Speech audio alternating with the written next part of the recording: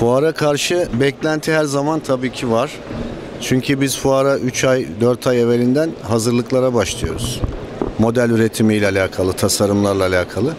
O yüzden bir beklentimiz haliyle oluyor herkes gibi. Ee, beklentilerimizde misafirlerimizi konaklatmak ve burada e, misafir etmek olduğu için yaptığımız işlerin arasında yoğunluğumuz haliyle fazla oluyor tabii. O yüzden de biraz yorgunluk olmuyor değil. Beklentilerimizin içerisinde bu kadar müşterimizi getirmişken tabii ki onlara faydalı olacak ürünleri de sunarak onları ve kendimize de bir kazanç elde etmek için bir hedefimiz oluyor tabii ki. Çok farklı ürünlerle çıkmak istiyoruz çünkü adı fuar. Dış ve iç e, piyasadaki müşterilerimize sunabilmek için çok farklı ürünlerle karşılarına çıkıyoruz. Hazırlıklarımızın içerisinde genelde iç bölge yani Türkiye'nin içini hedefliyoruz evvela.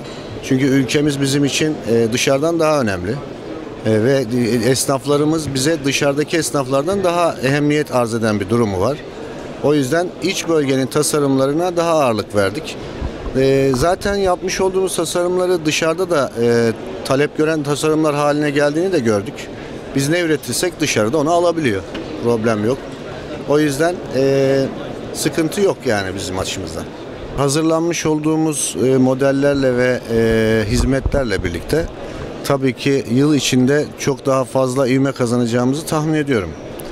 E, çünkü bizde süreklilik önemli. Personelimiz devamlı müşterimizin ayağına kadar gidip hizmet veriyoruz. Bu hizmetin karşılığında da e, başarıyla döndüğümüzü tahmin ediyorum. Verilen sonuçlar, gelen sonuçlar doğrultusunda konuşuyorum. Faydasını gördüğümüz için de aynı hizmetimizi devam ettirip Eskolt'u yurt içi ve yurt dışında daha iyi temsil etmek için kadrolaşmaya devam ediyoruz.